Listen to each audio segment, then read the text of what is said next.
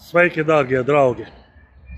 Es, Armāns Māliņš, esmu pievienojies Latvijas pirmajā vietā komandai un startēju Rīgā ar 32. numuru. Latvijai pirmajā vietā dažādos cilvēkus vieno kopēju mērķi par tradicionālām ģimenēm pret obligāto potēšanu.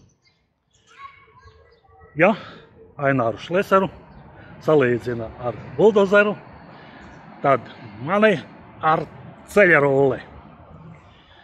Visus, kas deva noziedzīgās pavēles par spaidu potēm un to aktīvos izpildītājus, ierulēšu asfaltā. Tā būs.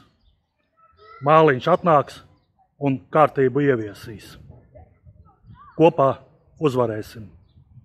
Gods kalpot Latvijai!